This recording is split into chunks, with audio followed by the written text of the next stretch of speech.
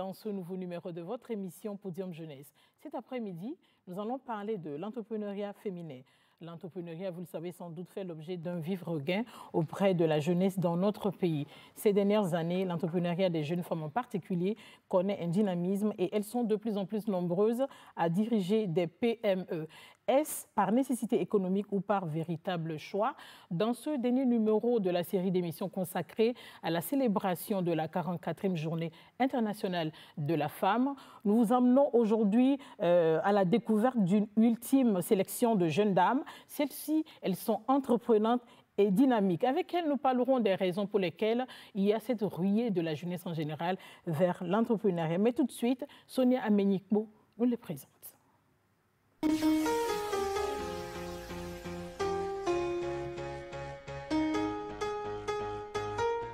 Chers amis de Podium Jeunesse, bonsoir. Aujourd'hui, Pélagie est avec Kafu Akolor Odoudou. Elle est hôtesse d'accueil, formatrice en savonnerie, assistante de direction et directrice de Eugija, une société spécialisée dans la fabrication de diverses sortes de détergents. Alice Pilou, elle est titulaire d'un master en agrobusiness, management des entreprises agricoles. Elle est également associée à AgriFocus, une structure de business et consulting agricole. Alice Pilou est la promotrice des jus de pommes de cajou nutritifs et 100% naturels sous la marque Tiwa. Titulaire d'une licence en comptabilité contrôle audit, Athénée Agbomla est depuis 2019 associée et gérante de Eyalel, une société spécialisée dans la production des légumes précuits. Hortense Adanou Akwetevi, elle est jeune femme leader Business Pool 2020 et la présidente fondatrice de femmes œuvrant à l'unisson pour la réussite pour une association de femmes entrepreneurs. Titulaire d'un brevet de technicien supérieur en analyse médicale et biologique, elle est actuellement la promotrice des fromages feta Wangash 4 saveurs.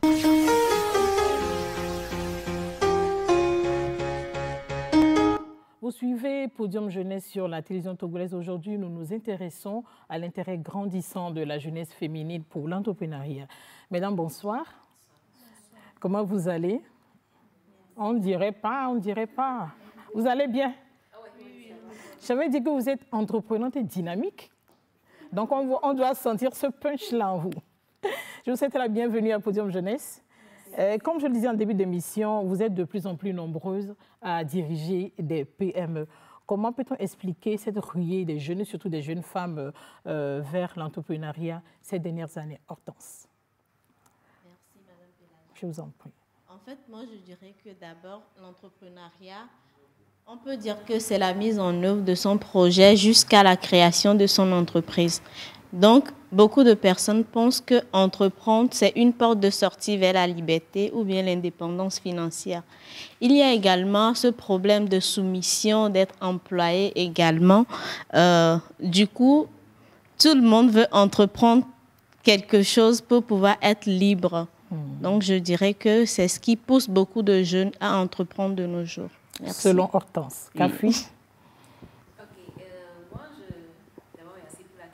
Je, je dirais plutôt que ça dépend de, de la forme qu'on donne à la chose aujourd'hui. Aujourd'hui, l'entrepreneuriat est, est communiqué comme euh, une baguette magique juste pour sortir de, de la pauvreté, juste pour sortir de, du chômage. Donc, il faut entreprendre. Et étant jeune et euh, sensible, tout le monde veut essayer ce qu'on leur dit, ce qui se passe, ce qu'on dit autour de l'entrepreneuriat. Donc, c'est ce qui a donné que tout le monde veut se lancer dans la chose, même si on n'a pas les qualités adéquates, on veut toujours se lancer quand même. Même si on n'a pas les qualités adéquates, on veut s'y lancer pour voir ce que ça va donner comme résultat. Alice, Les uns, les autres bonne arrivée d'abord. Vous venez de Cara. Exactement, Comment ça va, Cara Cara, ça va, tout le monde se porte bien, Ok. Cara. Merci pour la Je question. vous en prie. Euh, comme les, les unes et les autres ont eu à le dire, l'entrepreneur- l'entrepreneuriat aujourd'hui est devenu comme un mouvement d'ensemble. Et tout le monde se lance là-dedans. Et je pense, je pense qu'aujourd'hui, il y a beaucoup cette ruée là, là derrière, juste parce que il y a le fait de vouloir concrétiser certaines idées mhm. ou de répondre surtout à certains besoins qui se présentent dans notre environnement. Mais au-delà de ça aussi, les jeunes aujourd'hui veulent améliorer leurs conditions de vie mhm.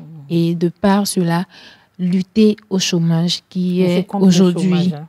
vraiment une question très récurrente. D'accord, merci. Péné, on vous écoute. Merci pour la question. Comme vient de dire Alice, euh, je dirais c'est une question d'accomplir quelque chose de satisfaisant pour la société. Et, et, aussi, il y a le besoin de, de revenus, d'un revenu supplémentaire pour les femmes. Et les femmes ont besoin d'être euh, autonomes, euh, dépendantes, être euh, indépendantes financièrement. Et c'est ce qui pousse beaucoup, beaucoup de femmes à se lancer dans l'entrepreneuriat, à vouloir être euh, autonome financièrement. Bon, je dirais que c'est un peu ça. Et surtout, la, la, satisfaction d'accomplir quelque chose d'utile à la société. D'utile à la société. Euh, vous venez de donner les raisons générales pour lesquelles, surtout aujourd'hui, les jeunes euh, s'investissent dans l'entrepreneuriat. Mais maintenant, particulièrement vous, personnellement, vous-même, vous allez me dire pourquoi vous, vous avez opté pour l'entrepreneuriat. Alice. OK. Euh, pour la petite histoire, après mon, ma licence en gestion, et j'ai pensé que j'allais trouver tout de suite un emploi, euh, comme on le dit, un travail. Mais après une année, jusque des stages, euh, j'étais là, je me suis dit, waouh, donc c'est ce qui se présente réellement sur le terrain. c'est là qu'il a été lancé un master en agrobusiness à l'université de Cara. J'ai longtemps voulu ou toujours eu un penchant pour l'agriculture. C'est dans ce sens-là que je me suis inscrite. Et c'est là que tout a commencé et le, déclic est arrivé. Donc, dans les collaborations avec les collègues, les amis et les partages d'expériences, nous avons euh, émis, nous avons plutôt émis une idée et d'où le projet, genre le projet sur lequel nous sommes en train de travailler ou l'entreprise qui est née c'est de là maintenant que l'idée ou l'idée de vouloir travailler ensemble et de créer cette entreprise-là hmm. est, est, née, est venue. Donc c'est comme cela que Donc c'est comme cela que je pense que j'ai été motivée à entreprendre, à entreprendre et pour ajouter à cela, je pense qu'il faudrait vraiment mettre l'accent sur la volonté et hmm. surtout l'amour de cette idée-là, ou hmm. plutôt de, de, de l'idée qui est arrivée. Parce que si vraiment l'on n'a pas cette volonté ou cet amour-là de la chose, je ne pense pas que nous pourrions vraiment nous lancer dans, dans disons, c'est dans un, dans un jungle, hein, si je Dans la jungle. La jungle. Euh, ah, donc à la base, vous, vous aviez désiré échapper au chômage. Ensuite, votre amour légendaire, euh, j'exagère, pour l'agriculture, vous y a amené on peut le dire ainsi. On peut le dire ainsi. Et la volonté que vous avez tout de, à fait. de faire quelque chose d'utile, comme Apene l'a dit tout à l'heure. Apene, vous, quelle est votre raison personnelle, particulière, qui vous a amené à l'entrepreneuriat? Hmm, Moi, mon histoire, euh, c'est le contraire. C'est le contraire de celle d'Alice. J'avais un boulot, je hmm. travaillais déjà quelque part et quand je suis tombée enceinte, j'ai continué mon boulot, mais j'ai eu un petit souci. Mhm. La cuisine à la maison. Mhm. Et mon mari et moi, on aime beaucoup manger les légumes. Donc, revenir de, du boulot, aller faire le marché, et aller à la cuisine, tout ça, ça me prenait le temps. Mhm. Et au fur et à mesure que j'approchais de l'accouchement, ça devient de plus en plus pénible pour moi. Donc, quand je viens faire, euh, j'achète mon adémé, venir trier à la maison, tout ça, ça prend un temps fou. Ça prend un temps fou. Et l'état de fatigue dans lequel j'étais tout le temps, mon mari va dire, mais tiens, c'est pas mieux de faire tes légumes de précu, déposer, et comme ça, quand tu rentres. Quand tu en auras envie. Tu en as envie. Tu fais ta cuisine en moins de. Rapidement. 10-15 minutes si on peut manger tranquillement. Bon, c'est là que ça a commencé. J'ai essayé personnellement. Hmm. Et après l'accouchement, j'ai continué à le faire avec euh, certaines amies et tout. De plus en plus de personnes aimaient ma solution. je, je me dis que c'est une solution. On est vraiment une, hein? C'est ça. Et beaucoup de gens adhéraient à la chose. Et ben, tiens, pourquoi ne pas en faire euh, une activité? C'est là que nous nous sommes lancés parce que je, ne suis pas rentrée seule. Mon mari également. Lui aussi, il travaillait. Il a, il a, et lui continue pas à travailler dans sa boîte. Donc, on s'est lancé et j'ai pris le devant de la chose. Et du coup. Ça marche. Ça marche. Ça marche. Hortense. ressemble un peu à, à celle d'Apéné. Peut-être mm. on a le même nom quand même. ok. Euh, je dirais que moi, euh, entreprendre, c'est, les, les, commerçants aussi sont des, des entrepreneurs. Mm. Moi, déjà, toute petite, euh, j'ai commencé les, les petits commerces. J'alliais le commerce et les études quand j'ai fini également au campus, quand j'ai eu mon diplôme universitaire, j'ai pas eu de soucis, j'ai eu mon boulot en même temps. Mais à un moment donné, je me disais bien, j'alliais euh, mes commerces parce que quand j'ai commencé par travailler, j'ai déjà ouvert ma boutique et puis l'agence de voyage. Mais je sentais le besoin d'apporter un plus à la société également. Mm. Et aider les autres femmes aussi à, bon, à avoir une indépendance financière. Mm. Du coup, bon, j'ai laissé le boulot et je me suis consacrée à mon entreprise. Par rapport au fromage, je dirais que j'aime trop les fromages. Mais il m'arrive des fois d'avoir envie d'en manger et je, je n'en trouve pas. Ou soit je, je trouve les fromages, mais le temps de, de les assaisonner, de les cuire jusqu'à griller, tout ça là. Euh, j'ai pas trop de temps. Et un soir, en rentrant du boulot avec mon mari, j'avais très envie de manger les fromages. Et il me disait, bon, et si tu essaies de, de faire les fromages pour que ça soit prêt à manger pour le, le commercialiser. Vos maris se connaissent Vos maris, est-ce qu'ils se connaissent? Je ne pense pas. Donc, c'est de là. Euh, lui-même, il est diplômé en agroalimentaire. Donc, comme les, je me suis dit dans un premier temps que les, les produits laitiers sont un peu trop sensibles. Donc, avec son coup de main, mmh. j'ai essayé de commencer petit à petit. Et il faut dire également que quand on mange les fromages, à un moment donné, on n'en a plus trop envie. Du coup, c'est pour cela que j'ai pensé à le faire sous quatre saveurs. Pour le hmm. moment, je le ferai. Donc, il faudrait qu'on explique à nos amis téléspectateurs que quand nous parlons de fromage, ici, ce n'est pas le fromage à l'européenne. Non, nous parlons du wangash. Oui, le wangash de, chez nous, qu'elle a su assaisonner avec quatre saveurs. C'est des fromages à base de lait, de, vache, 100% C'est bio. bio. Merci. On verra vraiment si euh, votre fromage répond aux critères du bio. Euh, Alice, euh, en quoi est-ce que votre entreprise est spécialisée? Nous sommes spécialisés dans la transformation des pommes d'anacarde en jus naturel, nutritif et 100% naturel avant, que vous ne continuiez, nous allons donner une petite, une petite idée de votre produit à nos amis téléspectateurs et on revient juste en plateau pour en reparler.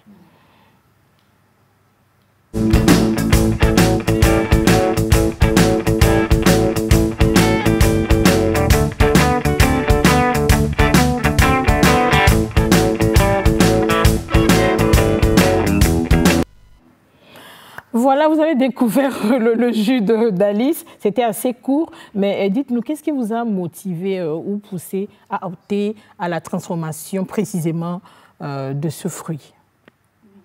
Notre initiative vient de la simple observation sur le terrain, comme quoi les pommes d'anacarde, aussi appelées les pommes de cajou, ont été longtemps abandonnées, jetées au pourrissement dans les champs. Mais nous avons remarqué qu'elles regorgent d'énormes vertus c'est dans ce sens-là, ou c'est dans cette logique-là que l'idée est née de vouloir valoriser ce fruit-là en jus nutritif et naturel, très riche en vitamines A, C et aussi en sels minéraux, potassium, fer et autres. Donc nous sommes basés à Cara et précisément euh, à Bafilo dans la préfecture d'Assoli mhm. et aussi à Moretan dans la préfecture de l'Est-Mono.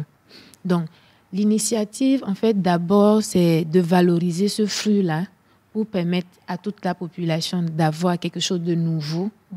Ensuite, également, de, de, montrer aux gens que cette perception qu'ils ont euh, dans la cette perception qu'ils ont comme quoi oui de ce fruit quand on le mange avec les produits laitiers ça n'a aucun effet d'intoxication sur la santé humaine puisque d'ailleurs nous-mêmes nous l'avons déjà fait donc, si seulement c'était possible j'allais le faire aussi sur ce plateau donc, euh, c'est pour faire sortir plutôt ce, mythe-là ou cette perception-là que l'on a de la pensée des gens. D'accord, merci beaucoup. Ça, merci. Euh, avant de discuter avec Akpene, nous allons euh, regarder la vidéo de ces légumes précuits.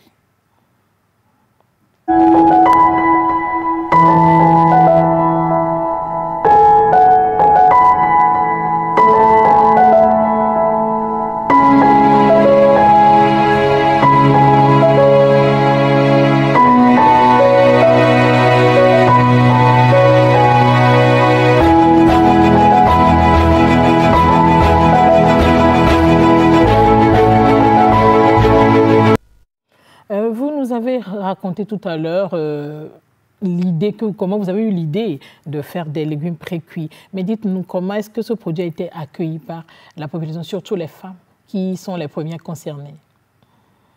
Comme je l'ai dit, euh, ces produits sont une solution pour ma personne. Donc, euh, c'est aussi une solution pour toutes les femmes. Mhm. Ça veut dire qu'elles ont bien accueilli le produit tout le monde dit Tata merci, merci pour ce que vous faites. Et vous avez dit en combien de minutes je fais ma sauce à démets En 10 minutes. 10 minutes, réglo chrono. Oui, d'où le nom ma sauce en 10 minutes. Ma sauce en 10 minutes. C'est ça. Ok, merci beaucoup. Nous allons euh, suivre la vidéo des fromages Wangash 4 saveurs. Hello, c'est Alaves. Aujourd'hui, nous allons parler des bienfaits de la consommation des fromages sur la santé. Les fromages à base de lait de vache, tout comme les autres produits laitiers, constituent une source de calcium et de phosphore, maintiennent ainsi notre santé dentaire et osseuse. Ils sont très riches en vitamines A, B2 et B12, des nutriments qui permettent d'avoir une bonne peau, en bonne santé, une bonne vision et aident l'organisme à fabriquer beaucoup de globules rouges. Ils sont également très riches en zinc qui interviennent dans notre système immunitaire et qui permettent un bon développement des fœtus. Alors, conseillez aux femmes enceintes d'en consommer. Chers amis, consommons les fromages à base de lait de vache. Consommons les fromages feta en cache saveur. À très bientôt. Bye bye. Bye bye. Euh, Hortense, comment arrivez-vous à avoir le lait de vache? Est-ce que vous, vous avez une collaboration avec des éleveurs ou comment ça se passe? Je dirais qu'au début, c'était un peu compliqué euh, de pouvoir collaborer avec euh, les éleveurs parce qu'il faut des mesures d'hygiène. Hmm. Du coup, c'est un peu difficile pour eux de, de, pouvoir nous les produire dans ces circonstances, surtout que les vaches ne doivent pas être vacciner ou bien avoir des, injections quelques temps avant le prélèvement des, laits.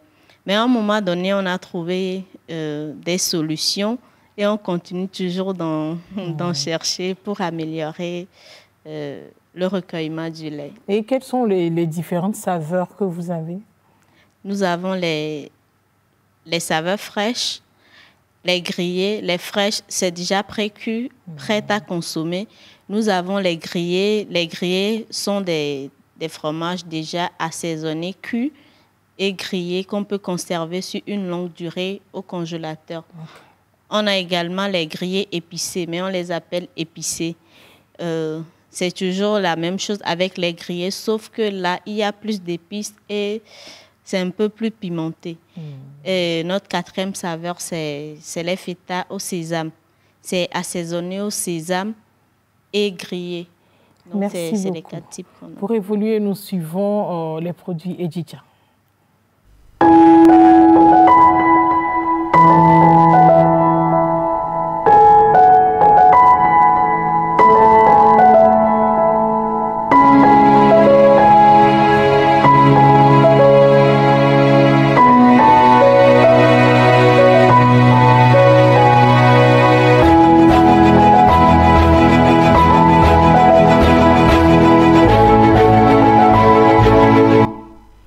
Edjitia. de fabriquer du détergent?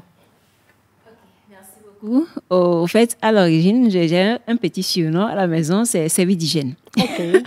à chaque fois que je rentre à la maison, c'est moi qui donne de l'ordre, que, que la maison soit propre et tout. Donc, on me surnommait service d'hygiène arrivé et tout.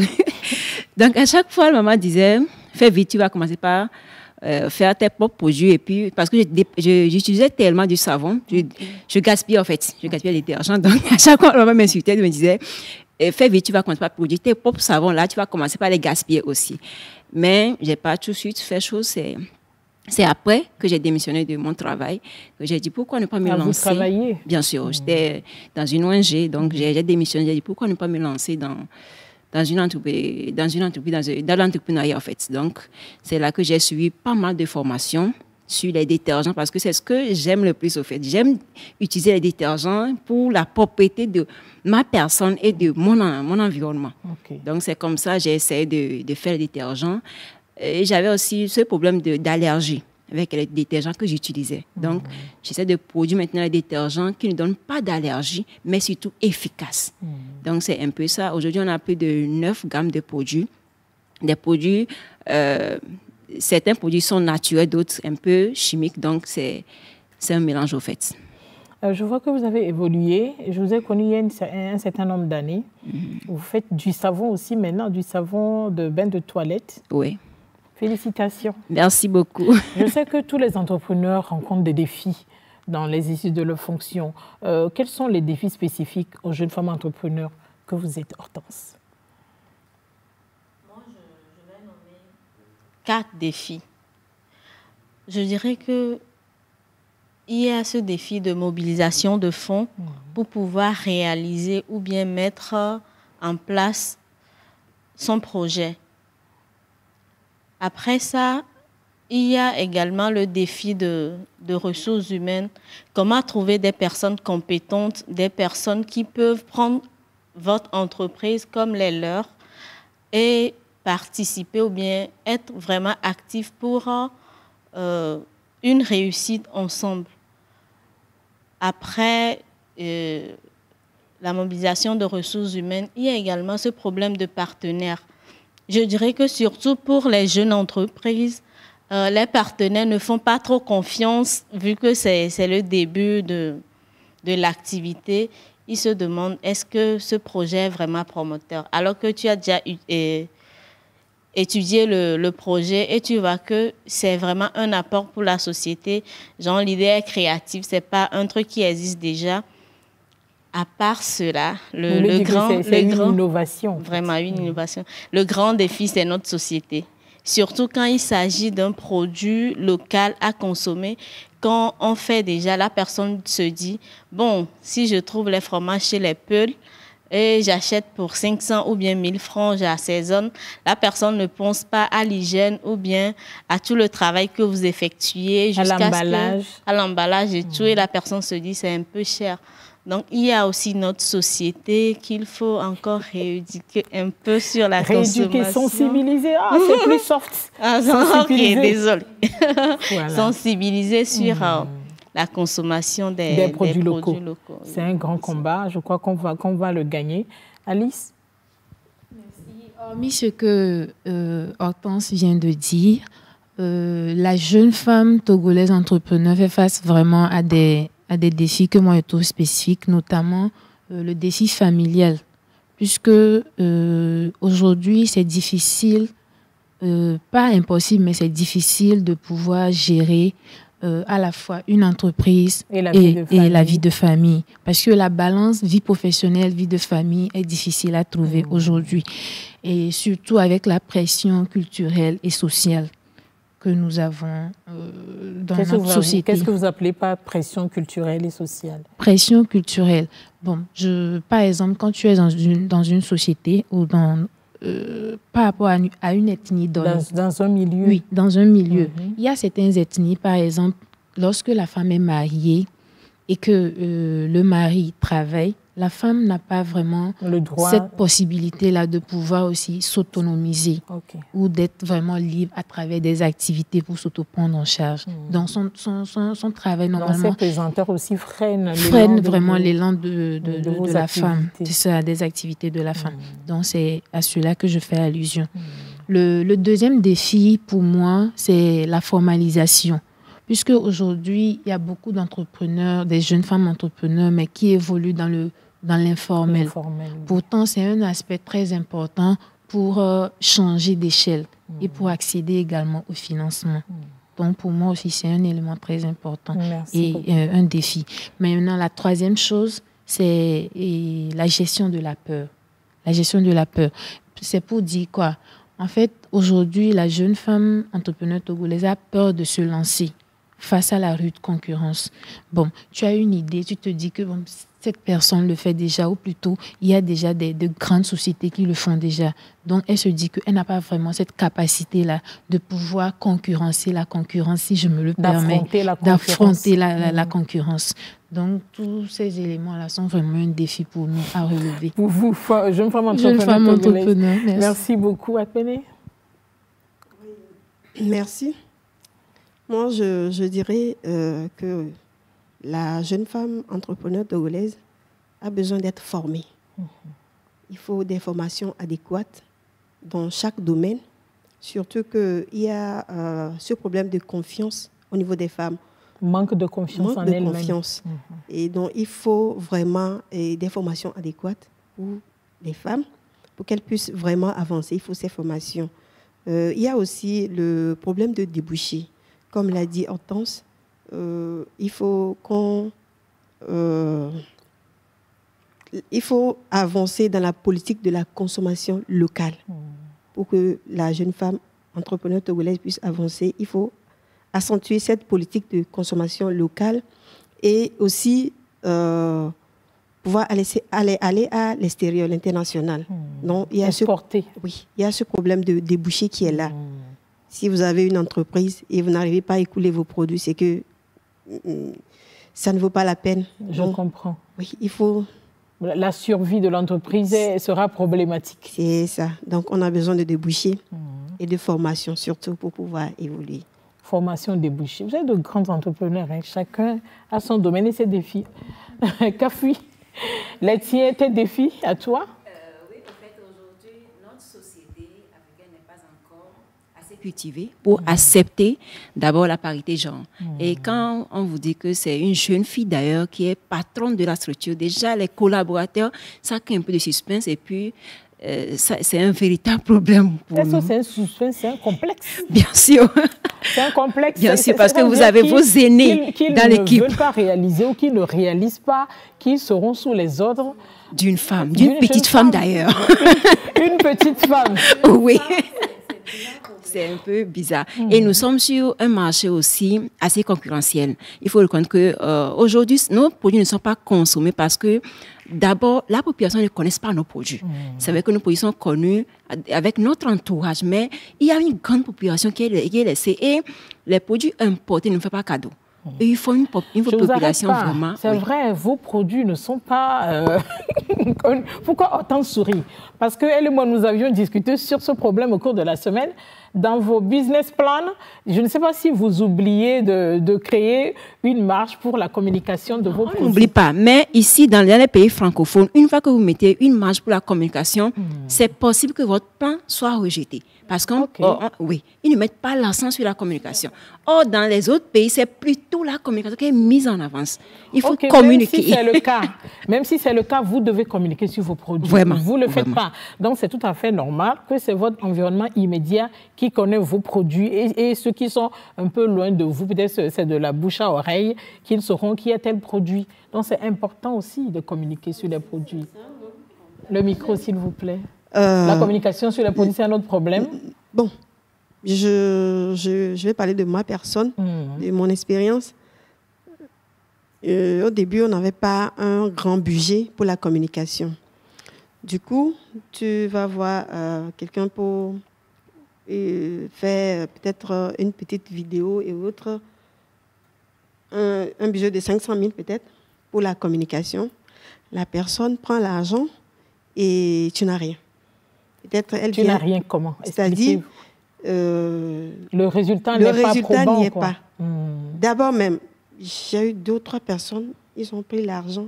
C'est juste les photos des produits qu'ils ont. Est-ce que vous êtes adressé à des professionnels?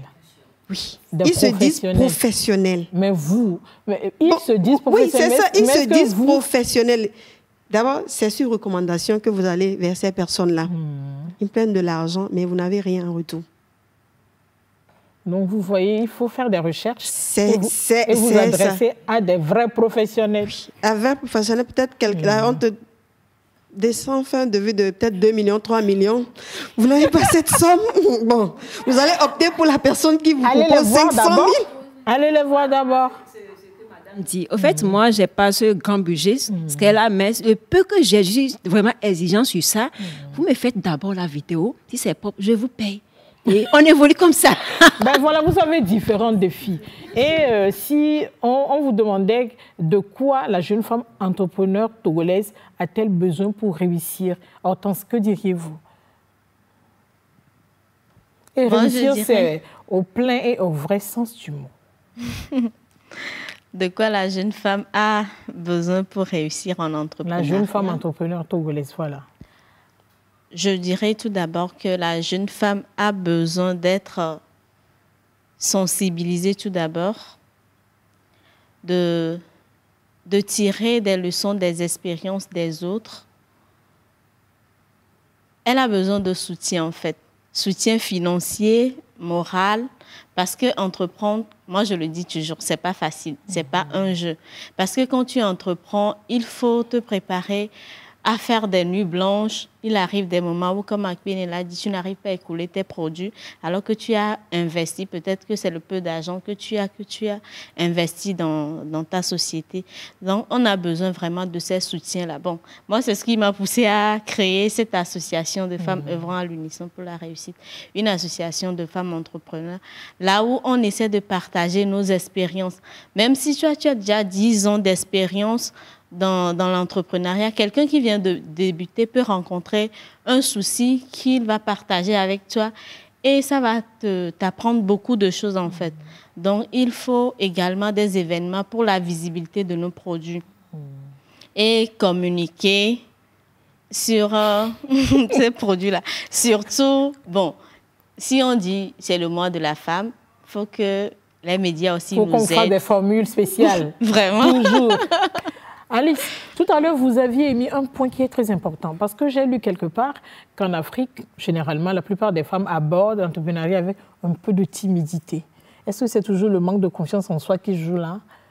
Oui, je, parlais tout à l'heure de la gestion de la peur. Hmm. Euh, il y a la peur qui se trouve là-dedans, puisque, tel que je l'ai dit, Aujourd'hui, il y a beaucoup, beaucoup, beaucoup d'idées d'entrepreneuriat, des entreprises qui se créent. Hmm. Et peut-être que j'ai une idée, mais je vois qu'elle est déjà là sur le terrain. Et je me dis que la personne a déjà plus d'expérience, elle, elle exerce déjà euh, cette activité, elle en sait déjà beaucoup de choses. Moi, une nouvelle qui vient d'entrer, est-ce que je pourrais vraiment y arriver? Je crois que vous pouvez gérer ça avec Hortense. À four à fou, oui, vraiment. Pour coacher la peur. Exactement, exactement. Puisque ça fait déjà partie de ce que la jeune femme hmm. entrepreneur a besoin pour pouvoir vraiment réussir.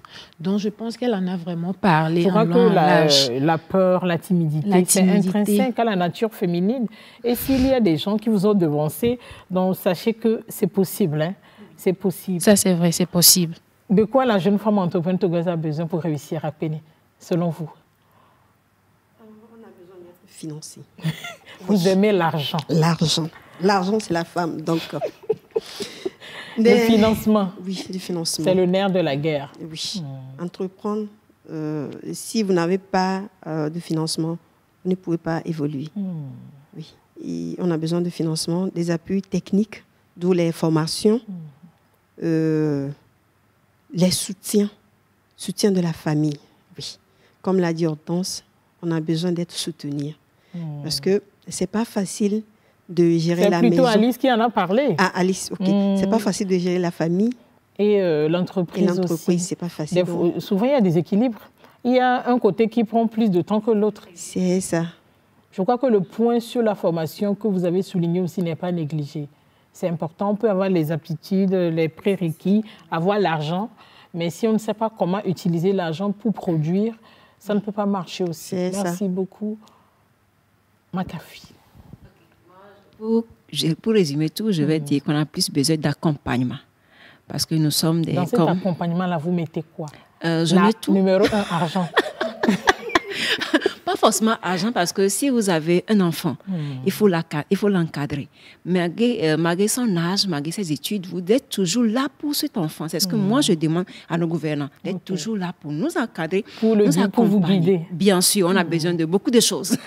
De beaucoup de choses. de beaucoup de choses. Donc, de nous encadrer, de nous amener à grandir et ensemble, euh, c'est le Togo qui gagne. Voilà. Euh, pour finir, euh, selon vous, en tant que jeune femme, entreprendre au Togo aujourd'hui, est-ce que c'est un choix de vie ou une option de survie? Hortense. Choix de vie, option de survie? Selon moi, c'est.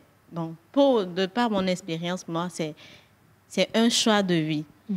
Mais vu les réalités sur le terrain, beaucoup sont obligés de... Je parle de vous. Moi, ah, comme vous avez dit aussi, comme constat, bon, personnellement, c'est un choix de vie parce que, comme je l'ai dit au début, moi, ma passion, c'est d'innover, de, de, mettre en place un truc qui n'existe pas parce que quand j'étais toute petite, je disais que je vais être pilote, mais je me disais que non, il y a déjà plein de pilotes. Il faut que je, je, quelque chose. Je fasse quelque chose. Et c'est là, c'est de ça que je me suis dit, bon, il faut que je fasse la biologie, la recherche et tout ça pour découvrir quelque chose. Mais après tout, je me sentais pas trop là et c'est pour cela que je me suis dirigée dans l'agroalimentaire. Donc, c'est pour euh, aider également les femmes, comme je l'avais dit. Donc, pour vous, c'est un choix de vie. Hein?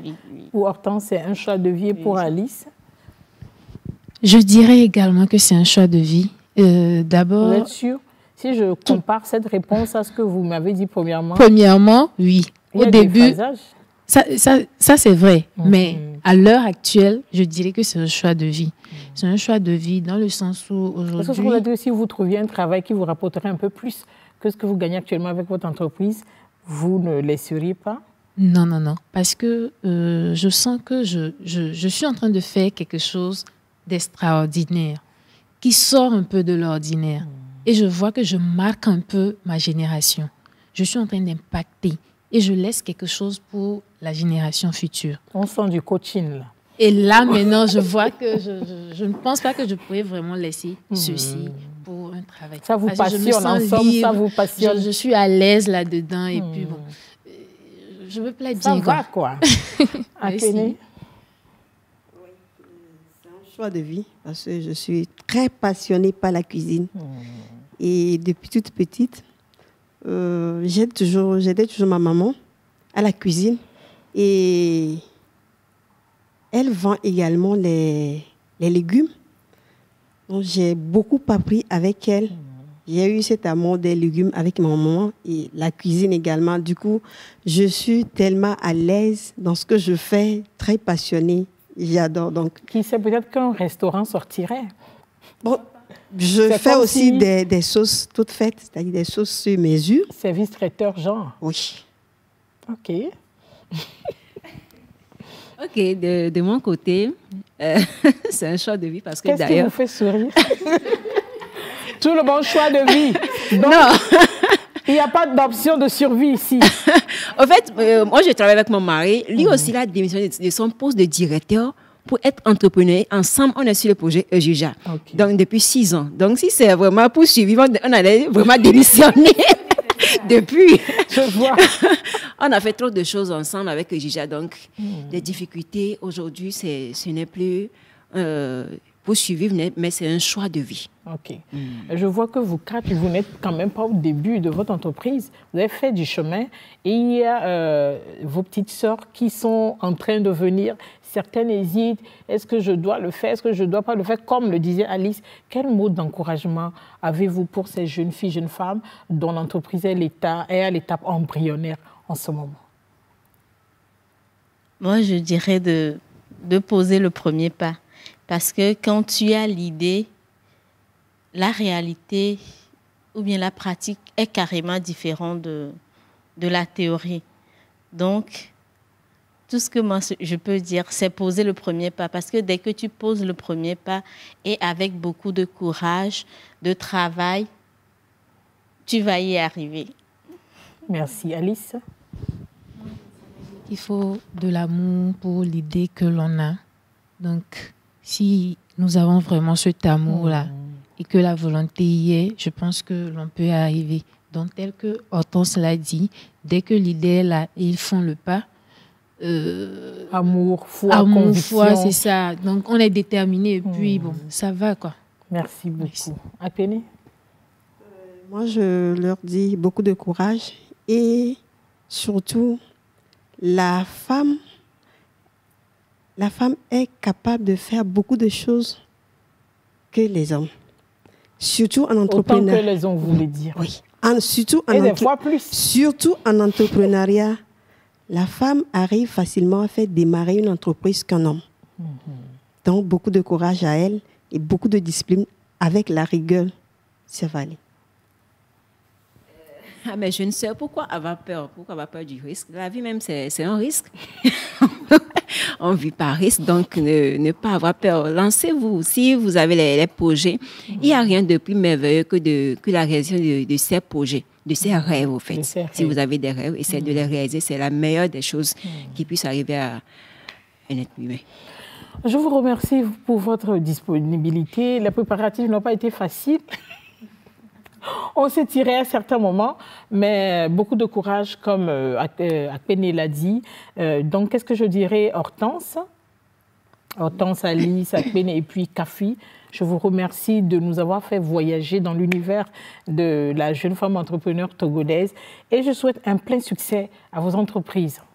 Chers amis de Podium Jeunesse, euh, l'émergence et la croissance de l'entrepreneuriat féminin est, une tendance réelle au Togo. Vous l'avez remarqué avec ces quatre jeunes femmes. Et la contribution des femmes à l'économie n'est plus à démontrer. Pour finir, sachons que la création d'entreprises prospères par des femmes est essentielle afin que notre pays ait une chance de mettre en œuvre l'agenda 2063 de l'Union africaine. Je vous remercie de nous avoir suivis. Je remercie toute l'équipe de la réalisation. Faites très attention, le coronavirus fait rage. Observez les mesures barrières à samedi. Au revoir.